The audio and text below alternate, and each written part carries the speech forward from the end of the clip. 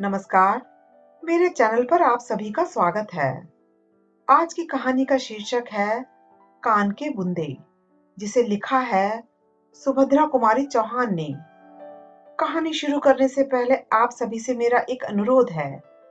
कृपया मेरे चैनल को सब्सक्राइब कर लें और बेल आइकन को ज़रूर हिट कर दें, ताकि अगली कहानी की नोटिफिकेशन आप सभी को समय पर मिल जाए। तो आइए कहानी शुरू करते हैं। कीमत पर विचार करने का समय न था।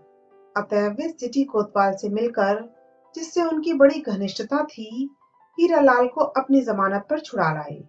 बुंदू के साथ ही नौ रुपए देकर वकील साहब ने हीरालाल को कचहरी भेजा और स्वयं भी कचहरी गई।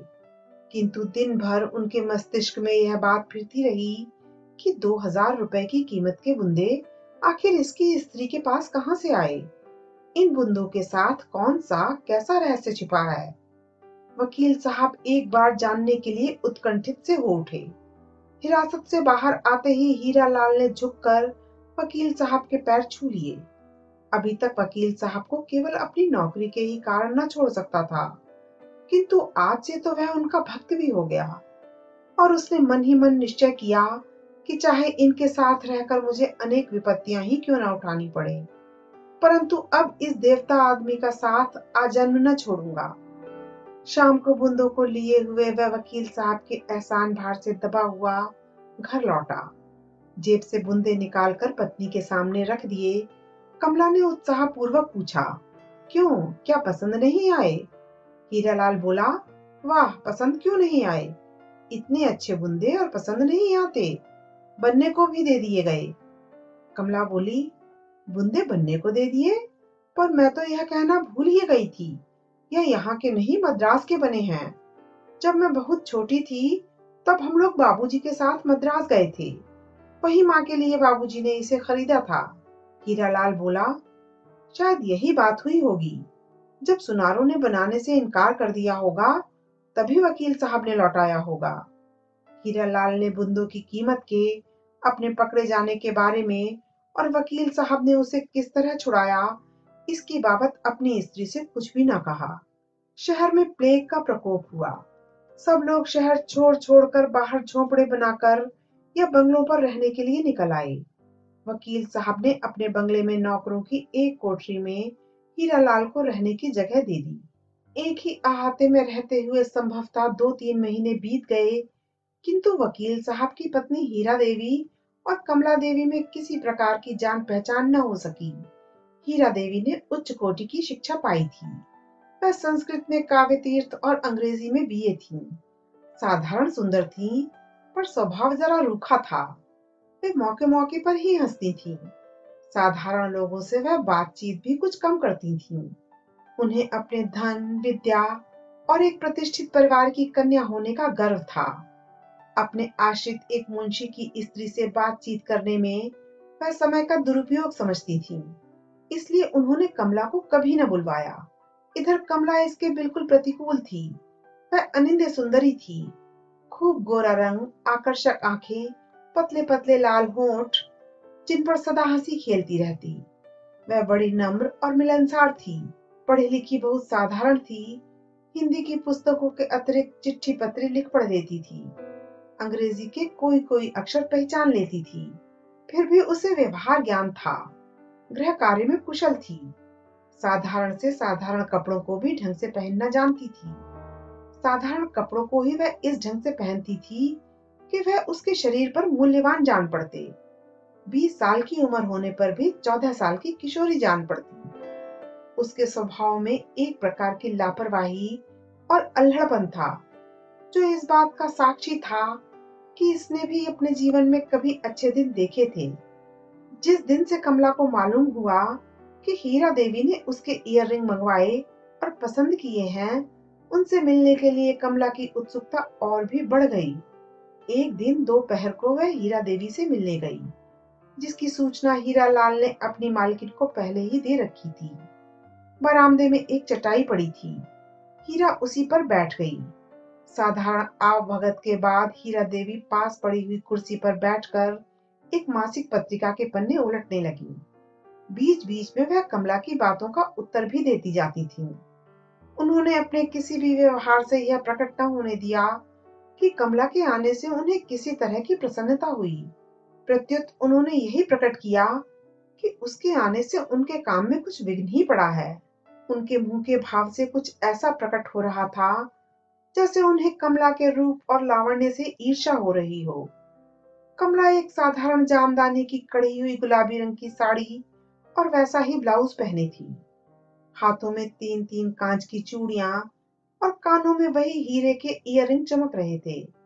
वह इस आशा में थी कि हीरा देवी यदि कुछ भी उसके बुंदों के विषय में पूछेंगी तो वह बातों ही बातों में उन्हें बतला देगी कि यद्यपि इस समय दिनों के फेर से वह उनके मुंशी की स्त्री है, किंतु वह भी किसी समय बड़े घर की लड़की थी और उसने भी अच्छे दिन देखे हैं।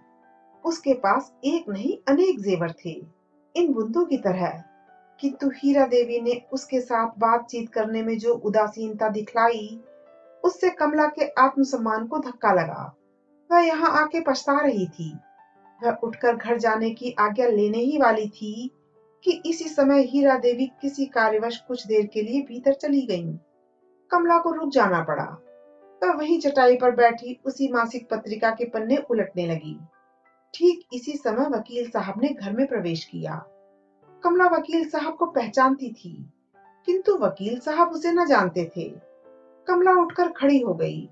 वह कहीं छिप जाने का स्थान ढूँढने लगी। इधर वकील साहब को एक संभ्रांत महिला को इस तरह बरामदे में चटाई पर बिठलाना कुछ अपमानजनक मालूम हुआ। पहले तो वह उल्टे पाँव बाहर लौट जाने वाले थे, परंतु न जाने क्या सोचकर उन्होंने कमला को संबोधन करके कहा, आप यहाँ बाहर क्यों बैठी हैं? आइए, ड्राइंग रूम में बैठिए, मैं उन्हें बुला लेता हूँ। कमला कुछ न बोली। चित्र छाया की तरह वकील साहब के पीछे पीछे जाकर ड्राइंग रूम में बैठ गई।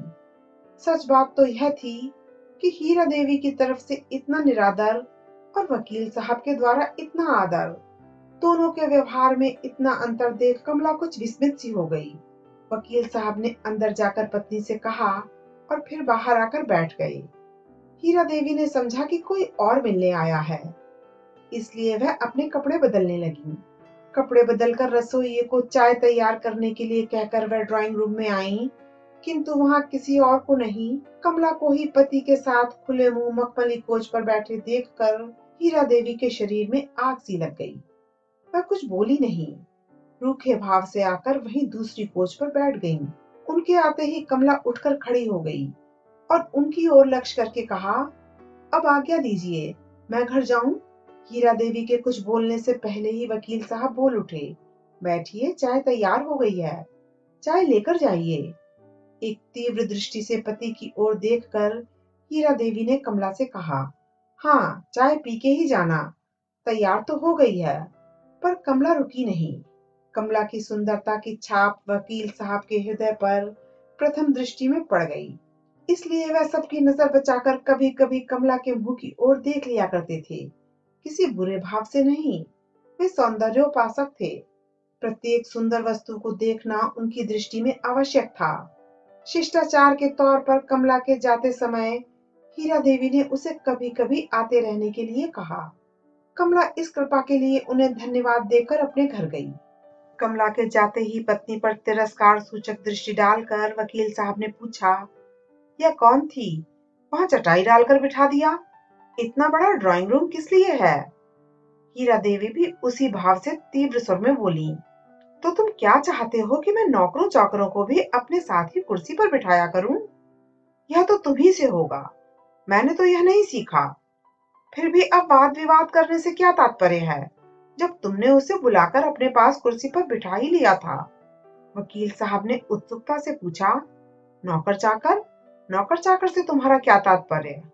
हीरा देवी ने रुखाई से कहा वह मुंशी की ही तो स्त्री थी ना। नौकर चाकर नहीं तो क्या मेरी हमजोली है? वकील साहब कुछ नम्र होकर बोले, मुंशी की ही स्त्री सही। हीरा लाल मेरा मुंशी है, उसकी स्त्री तो नहीं है। उसके साथ तुम्हें नौकरों का सा बर्ताव कदापि न करना चाहिए। जो सम्मान करना जानता है, वह सम्मान पाता भी है। फिर गरीबों का सम्मान तो धनिकों से अधिक करना चाहिए। यदि तुम उसे अपने साथ पहले से ही ड्राइंग रूम में लेकर बैठती तो तुम्हारे सम्मान में कुछ भी अंतर न आता, किंतु वह तुम्हारे विषय में केवल ऊँचे विचार लेकर ही जाती। हीरा देवी अब झुंझरा उठी। क्यों तंग किए डालते हो? मुझसे नहीं बन पड़ा। तुमने तो कर ही दिया। फिर अब अफसोस किस बात का है?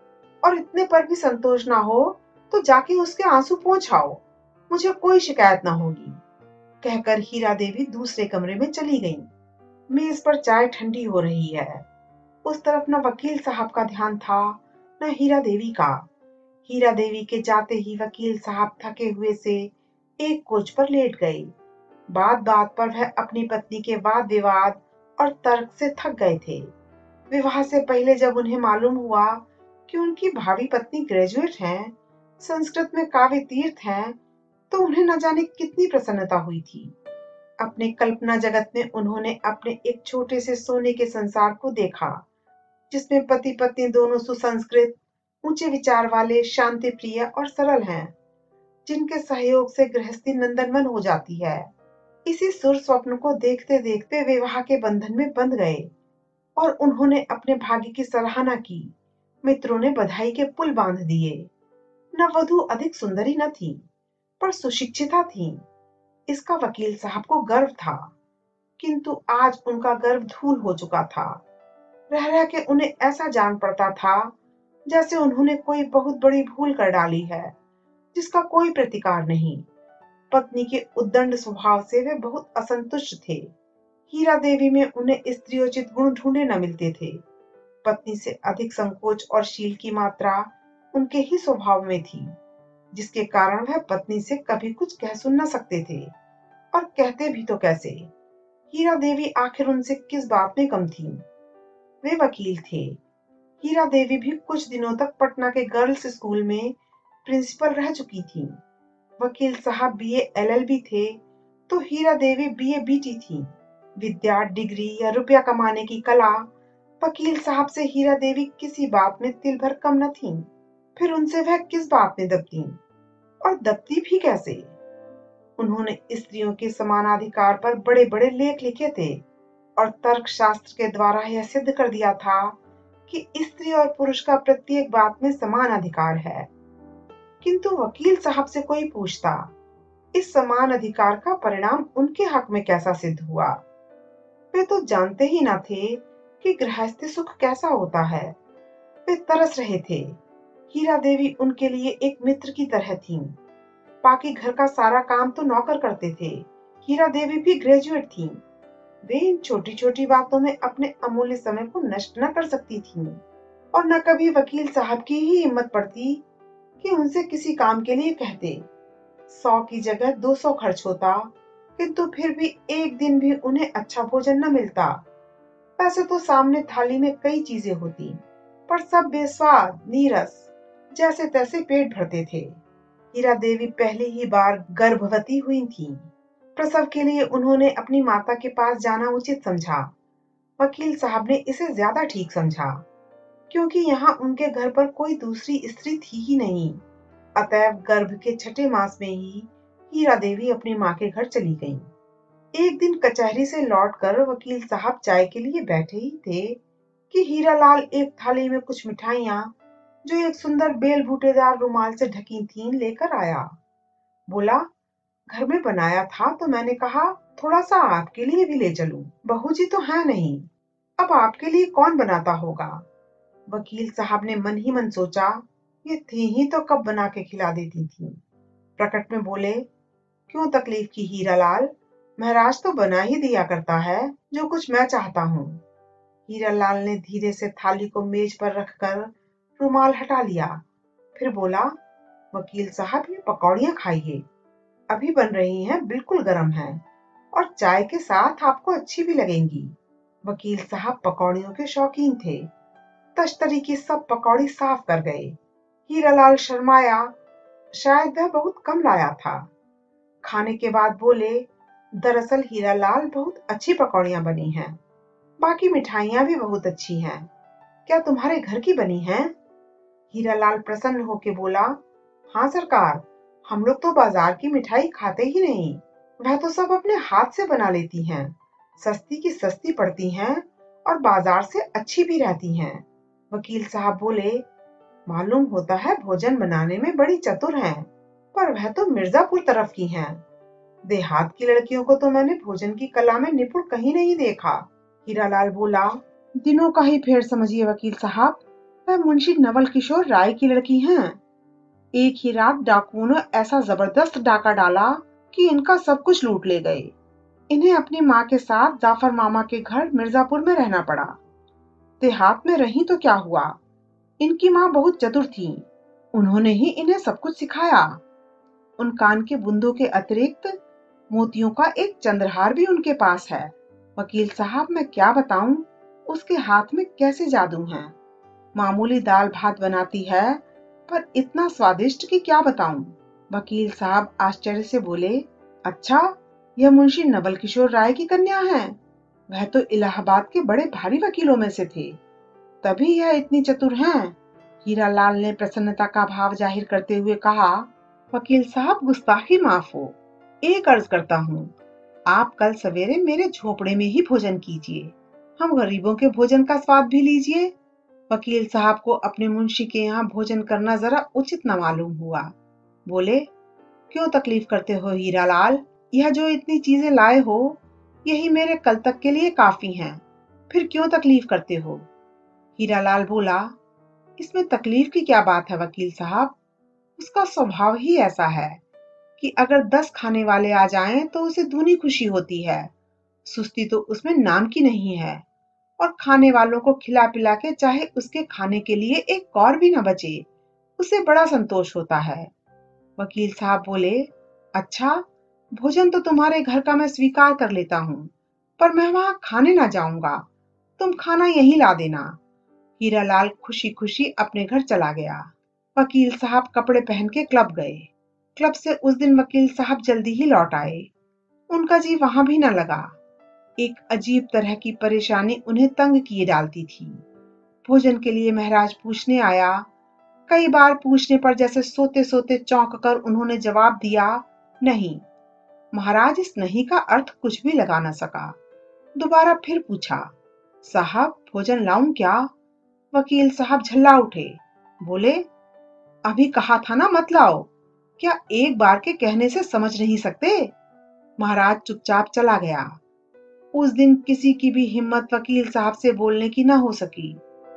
किंतु नौ बजे रात को फिर हीरालाल दरवाज़ा खटखटाता हुआ पहुँचा। वकील साहब इतने रात को उसके आने का कारण समझ गए। फिर भी और दिनों की तरह वे उसे झिड़क न सके, बल्कि आदर के साथ बैठाया और नम्रता से बोले, क्या है हीरालाल? मालूम होता है कि आज पीने के लिए नहीं है कुछ। हीरालाल हंस पड़ा।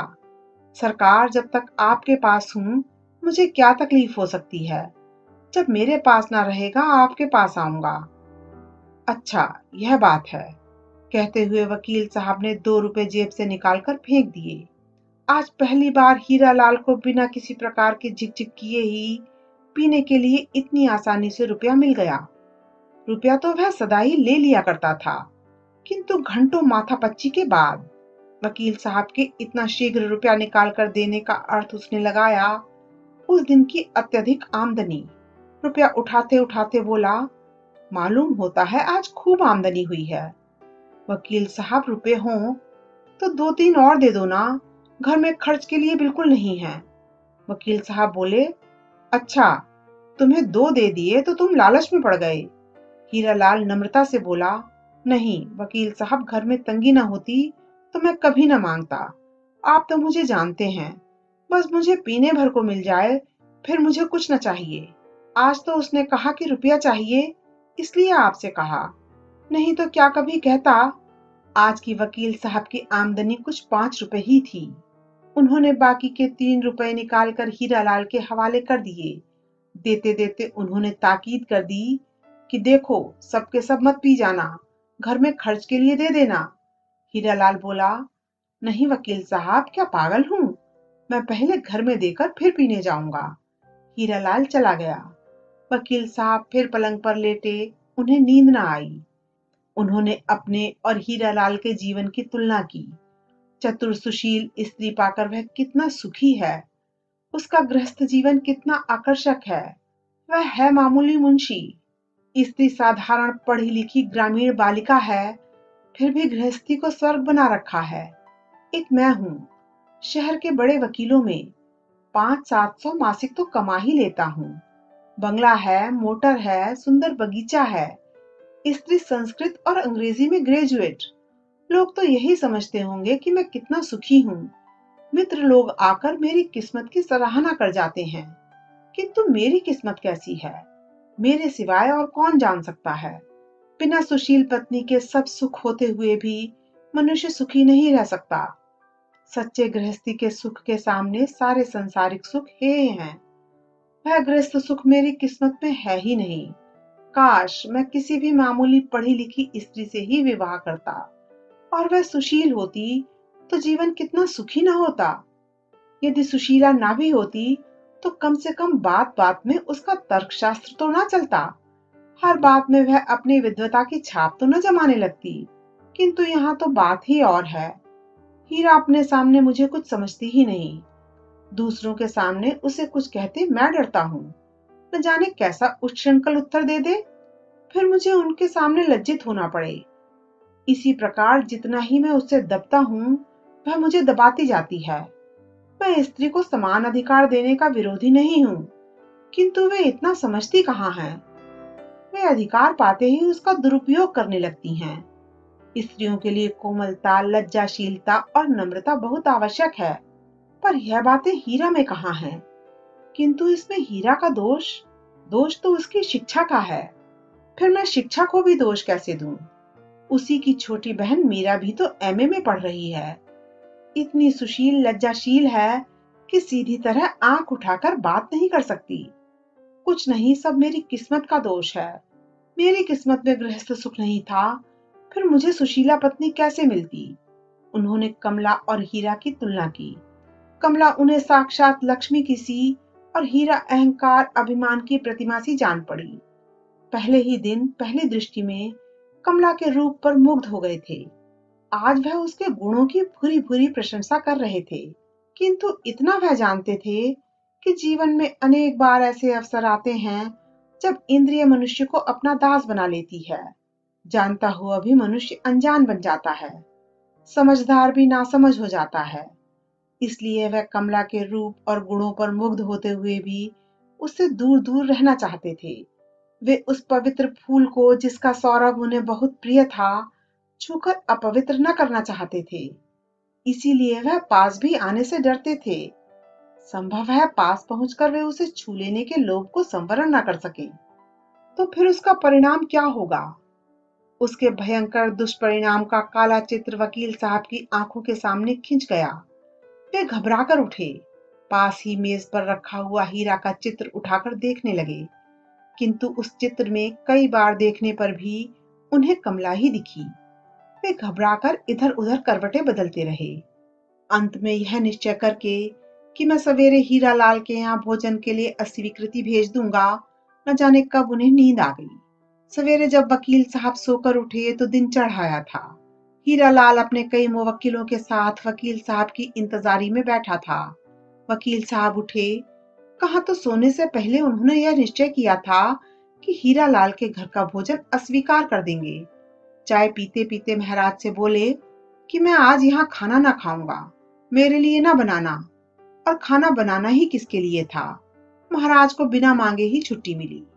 इधर भोजन के समय जब हीरालाल वकील साहब से पूछने आया, उन्होंने कहा, चलो, वहीं चल के खा लेता हूँ। तुम भी घर रहोगे। बार बार दौड़ने से बचोगे हीरालाल और चाहता ही क्या था? वकील साहब को लेकर अपने घर पहुँचा। वकील साहब घर की सफ़ाई देखकर दंग रह गए। छोटे छोटे दो कमरे कमला ने ढंग से सजा रखे थे। इतनी सफ़ाई थी कि वह उनकी चतुराई से चकित हो गए। उन्हें स्वप्न में भी यह आशा न थी कि उनके नौकरों के रहने की कोठरी नंदन कानन बन रही है। जो घर कमला सी चतुर गृहिणी के आलोक से आलोकित हो रहा हो, उसकी तुलना नंदन कानन भी क्या करेगा? वकील साहब दूसरी कोठरी में बैठे थे। बीच के दरवाजे पर एक फटी हुई साड़ी का ही सिला हुआ हल्के हरे रंग का पर्दा पड़ा हुआ था। पर्दे के पीछे से वकील साहब को बार बार कमला के पैरों की पाजेब की मधुर ध्वनि सुन पड़ती थी जिससे रह रह के उनका मन चंचल हो जाता था। जिन पैरों के पाजेब की मधुर ध्वनि वकील साहब के हृदय को दोलायमान किए डालती थी, उन पैरों को एक बार चूम लेने के लिए उनका मन आतुर हो उठा। हीरालाल ने आसन बिछा के पानी रखा। कमला थाली परोस के लाई। आज उसने बहुत मामूली हल्के नीले रंग की साड़ी पहन रखी थी। नीले रंग में उसका रूप और भी निखर पड़ता था। खाना बहुत सादा था। दाल, चावल, रोटी और दो तरह की मामूली तरकारी थी। किंतु सादा भोजन होने पर भी बहुत स्वादिष्ट और रुचिकर था। मिर्च मसाला बहुत कम था। फिर भी जाने क्या था कि वकील साहब रोज से कहीं ज़्यादा खा गए। खाते खाते बोले हीरालाल मुझे खाना इसी प्रकार का अच्छा लगता है। किंतु महाराज तो ज़रूरत से ज़्यादा मिर्च मसाला भर देता है। परिणाम यह होता है कि मैं कभी पेट भर भोजन नहीं कर पाता। तुम अपनी स्त्री से कहो कि वह महाराज को भी खाना बनाना सिखा दे। कमला ने धीरे से कुछ कहा। हीरालाल हंसता हुआ बोला, वकील साहब, वह कहती हैं कि आप यहीं क्यों ना खा लिया करें? वकील साहब हंसकर बोले, सो यहाँ किस्मत में नहीं है। सबको थोड़े ही ऐसा खाना नसीब होता है। कहते कहते साहब चले गए। कचहरी की देरी हो रही थी। हीरालाल भी जल्दी जल्दी भोजन करके भागा। आज वह भी वकील साहब की कार में ही बैठकर कचहरी गया। प्रशंसा झूठी हो चाहे सच्ची, किंतु है ऐसी चीज़ जिसे सुनकर प्रसन्न हो जाना मनुष्य का स्वभाव है। अपनी प्रशंसा के इतने बंधते पुल सुनकर कमला पुलकित न हुई हो, ऐसी बात नहीं। अब वह दूने उत्साह के साथ चीज़ें बनाती और नित्य ही कोई न कोई नई वस्तु बनाकर वकील साहब के लिए भेजती। उसके हृदय में और कोई भाव न थे। किंतु प्रशंसा पाने की लालसा ज़रूर थी। वकील साहब इसका दूसरा ही अर्थ लगाते। वे बार बार सोचते कि जिस प्रकार मेरे हृदय में उसके लिए प्रेम का सूत्रपात हुआ, उसी प्रकार कमला के हृदय में भी तो नहीं है। वे सदा इसी चिंता में व्यस्त रहते, किंतु प्रेम प्रकट करने का उन्हें कभी साहस न होता। इसके अतिरिक्त वे विश्वास की जगह अविश्वास को स्थान देकर पतित न होना चाहते थे। वे अपनी इंद्रियों का दमन करके अपनी सचरित्रता पर धब्बा न लगने देना चाहते थे। किंतु होनी किसके टाले टली है? इस बार जब वे हीरा लाल की तनख्वाह देने लगे तो दस रुपए के स्थान पर पंद्रह रुपए दिए और कहा, हीरा लाल, मेरी आमदनी बढ़ गई है, इसलिए तुम्हारी तनख्वाह भी बढ़ा दी है। इस महीने से तुम्हें पंद्रह रुपए मिला करेंगे। हीरा लाल को मुँह मांगी मुराद मिली। खुशी खुशी घर आया। पत्नी के हाथ पर रुपए रखता हुआ बोला, कमला, तुम सचमुच लक्ष्मी हो। जिस दिन से तुम आई हो, मुझे लाभ ही लाभ हुआ है। वकील साहब मुझसे कभी सीधे बात तक न किया करते थे। अब दोस्तों का सा बर्ताव करते हैं। कहा तो सदा निकाल देने की ही धमकी दिया करते थे। कहा इस महीने से पंद्रह रुपए तनख्वाह कर दी? अब तुम कहो, तुम लक्ष्मी हो या नहीं? तनख्वाह बढ़ने की खुशी में मैं उन्हें कल की दावत दे आता हूँ। जरा इस बार गहरा माल बने। पाँच रुपए ऊपर वाले खर्च कर दो। परमात्मा बहुत देगा। वकील साहब दूसरे दिन हीरालाल के यहाँ खाने आए। आज कमला ने कई तरह की भोजन सामग्री तैयार की थी। हीरा लाल थाली परसवा के वकील साहब के सामने रख ही रहा था कि बाहर से कुछ मुवक्किलों ने आवाज़ दी। हीरा लाल कमला से कहकर कि, तुम वकील साहब को खिला दो। मैं जरा मुवक्किलों को संभाल लूँ, वरना बहक जाएँगे, बाहर चला गया। सामने ही दूसरे वकील का घर था। उसे डर था कि कहीं मुवक्किल दूसरे वकील के घर न चले जाएँ। हीरालाल मुवक्किल से बातचीत कर रहा था। कमला वकील साहब को खाना खिला रही थी। बिल्कुल एकांत और सामने वही वस्तु जिसके वे भक्त थे। वकील साहब कुछ हतप्रभ और चंचल से हो गए। वे बोले खाना इतना अच्छा बना है कि जी चाहता है बनाने वाले का हाथ चूम लूँ। कमला कुछ न बोली। उसे यह एकांत अच्छा न लग रहा था। उसे वकील साहब के चेहरे की लाली और आँखों की उन्मत्तता साफ़ दिख रही थी। हाथ धुलाने के बाद कमला टॉवल देने लगी। वकील साहब टॉवल लेकर कमला की ओर झुके। कमला हाँ हाँ क्या करते हैं आप? कहकर पीछे सरकी पीछे दीवार होने के कारण ज़्यादा न हट सकी। वकील साहब ने जरा ज़्यादा झुककर कमला के होठों पर अपने होठों को जड़ दिया। न चाहती हुई भी कमला इसका विरोध न कर सकी।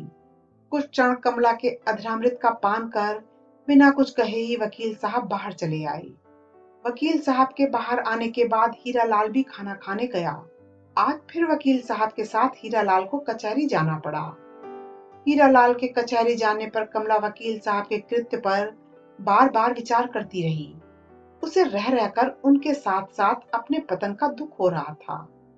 किंतु उसने तो कभी सोचा भी ना था कि यह मामला इस हद तक पहुँच सकता है। शाम हुई, आज वकील साहब क्लब न जा सके। उनका चित्त उदास था। आज हीरा लाल को कोई आमदनी भी ना हुई थी। वह भी पीने के लिए व्याकुल सा था। वह फिर वकील साहब के पास आया। वकील साहब को समझने में देर न लगी। एक रुपया निकालकर उसके हाथ में रख दिया। हीरा लाल कलारी की तरफ़ भागा। वकील साहब धीरे धीरे हीरा लाल के घर की ओर गए। जूतों की आवाज़ सुनकर हीरा लाल के धोखे में कमला ने उठकर दरवाज़ा खोल दिया। सामने वकील साहब को खड़ा देखकर वह बहुत घबराई। अब न दरवाज़ा बंद करते बनता था, न खोलते। वह कुछ क्षण तक दरवाज़ा पकड़े खड़ी रही, फिर बोली, क्या चाहिए आपको? वकील साहब रुंधे हुए कंठ से कंपित स्वर में बोले, तुमसे माफ़ी मांगने आया हूँ। कमला, जरा भीतर बैठ जाने दो, फिर कहता हूँ। कमला दरवाजे से सरक गई। वकील साहब आकर भीतर कुर्सी पर बैठ गए। कहा, मुझे अपने कृत्य पर बड़ा दुख है। कमला, तुम मुझसे नाराज़ तो नहीं हो? कमला कातर स्वर में बोली मैं नाराज़ हूँ या खुश? अब पूछ कर क्या होगा? यह तो आपको पहले ही पूछना चाहिए था। फिर भी मैं आपसे पूछती हूँ, आखिर हट से क्या लाभ है?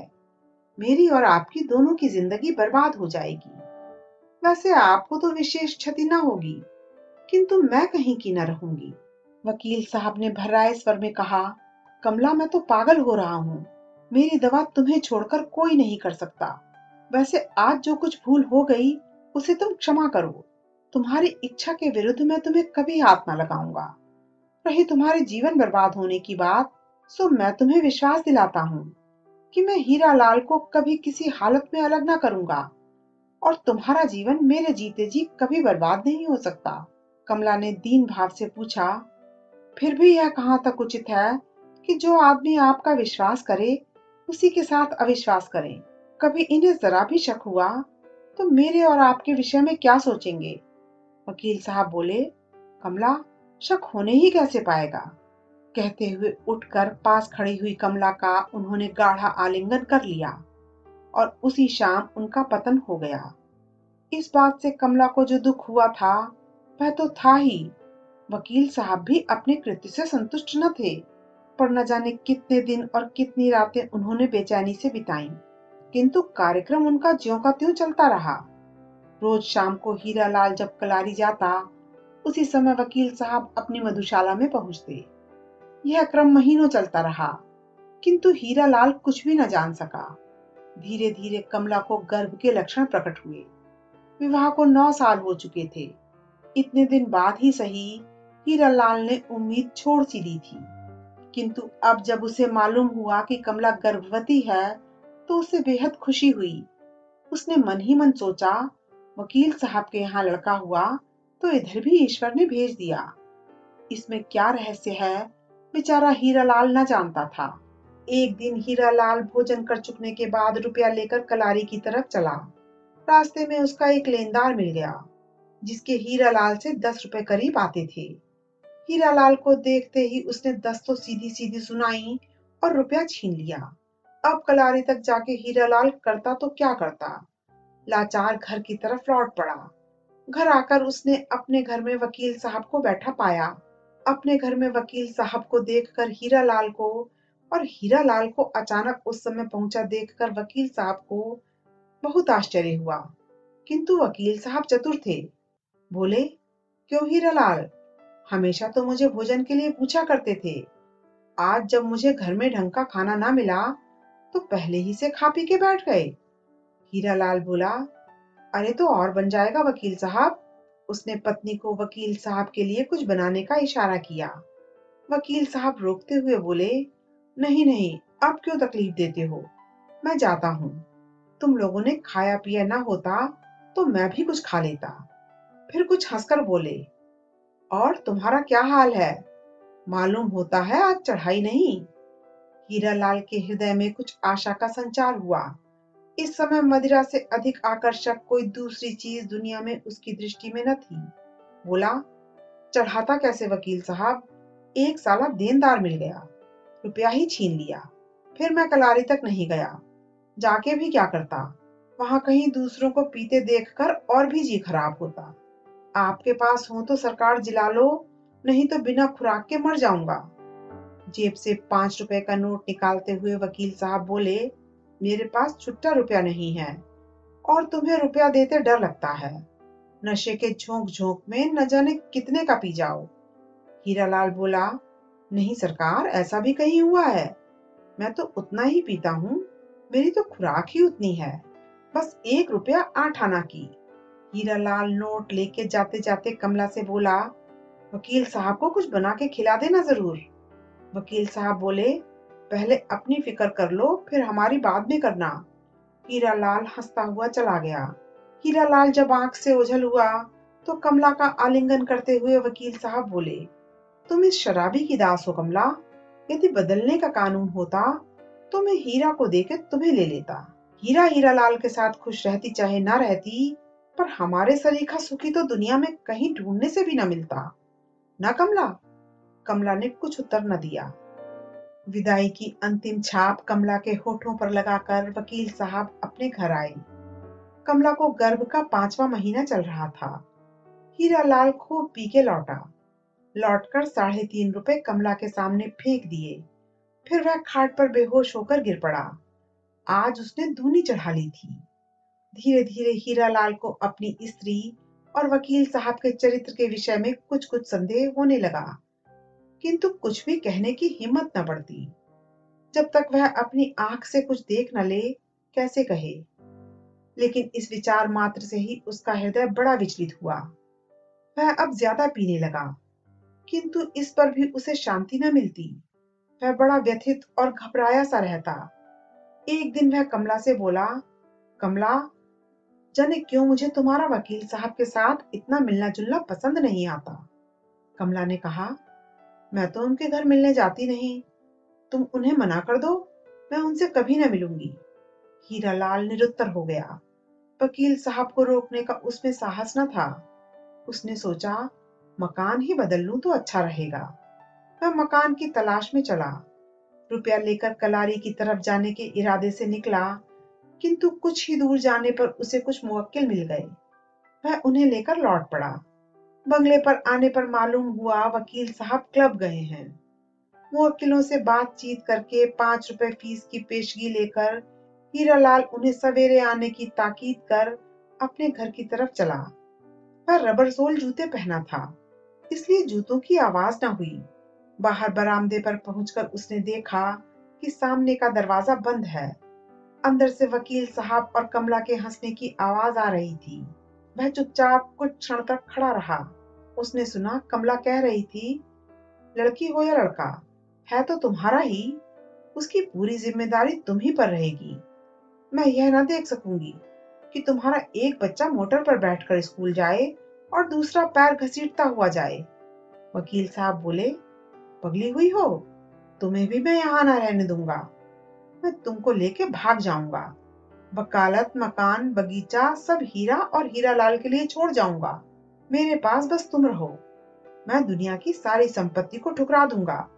मोटर मैं अपने बच्चे के लिए साथ रखूँगा। कहीं भी रहूँगा, कमा खाऊँगा। होना तैयार इस बात के लिए? कमला हंस पड़ी। हीरालाल अधिक न सुन सका। संताप से वह पागल सा हो रहा था। उसने ज़ोर से एक ठोकर दरवाजे पर लगा दी। दरवाज़ा अंदर से बंद था। वह वहाँ क्षण भर भी ठहर न सका। तेज़ी के साथ अहाते से बाहर निकल गया। अंधकार में किधर अदृश्य हो गया, कोई जान न सका। इस घटना को हुए कई मास बीत गए। अब कमला और वकील साहब के संबंध की चर्चा घर घर में थी। संदेह तो लोग पहले से ही करते थे। किंतु हीरा लाल के इस प्रकार अचानक लापता हो जाने से संदेह करने में कोई संदेह का कारण न रह गया था। एक सखी ने कुछ गोलमाल करके हीरा देवी को भी लिखा। यह भी लिखा कि वह फ़ौरन चली आवे इसके एक ही दिन पहले हीरा देवी को पति का पत्र मिला था, जिसमें लिखा था कि यहाँ कई तरह की मौसमी बीमारियाँ फैली हैं। ऐसे समय में तुम बच्चे को लेकर यहाँ मत आना। मैं स्वयं तुम्हें लेने आऊँगा। अब हीरा देवी पति के असली मतलब को समझी। उनके सिर से पैर तक आग लग गई। उसी दिन रात की ट्रेन से वह रवाना हो गई। उनके पहुँचने से पंद्रह दिन पहले बंगले में ही एक कमरे में कमला को कन्या हुई थी। हीरा देवी के इस प्रकार अचानक पहुँचने की वकील साहब को संभावना न थी। वह किंग कर्तव्य विमूढ़ से हो गए। उनकी समझ ही में न आया कि क्या करें। पहुँचने के कुछ ही घंटे बाद हीरा देवी ने देखते देखते कमला को बच्ची समेत बंगले से बाहर निकाल दिया। बंगले से निकलते समय कमला वकील साहब के दफ्तर की तरफ़ मुड़कर बोली, मुझे उन कोठरी में से एक में रहने दो। मैं इतना नन्हा सा बच्चा लेकर कहाँ जाऊँ? फिर मुझसे चला भी तो नहीं जाता। वह अपनी बात पूरी भी न कर पाई थी कि अचानक हीरा देवी आ गई। डांट के बोली, सीधी निकल जाओ। मेरी इच्छा के विरुद्ध तुम इस अहाते में पैर भी नहीं रख सकती। वकील साहब बुद्ध की नई बैठे रहे। उनसे कुछ भी करते न बना। उन्हीं की आँख के सामने जिसे उन्होंने इतना आश्वासन दे रखा था, वही कमला गिरती पड़ती किसी प्रकार बंगले के बाहर चली गई। किसी को उस पर दया न आई, किसी ने उसे शरण न दी। अपने पाप के फल को हृदय से लगाए, संताप के आँसू बहाती कमला निर्देश भाव से चली जा रही थी। अभी आप सुन रहे थे श्रीमती सुभद्रा कुमारी चौहान की लिखी हुई कहानी, मेरी, यानी अर्चना की जुबानी। आपको यह कहानी कैसी लगी? कृपया कमेंट करके बताएँ। अच्छी लगी तो लाइक करें, शेयर करें। अगली कौन सी कहानी आप सुनना चाहते हैं, यह भी बताएँ। आपसे फिर मुलाकात होगी किसी नई कहानी के साथ। तब तक के लिए धन्यवाद।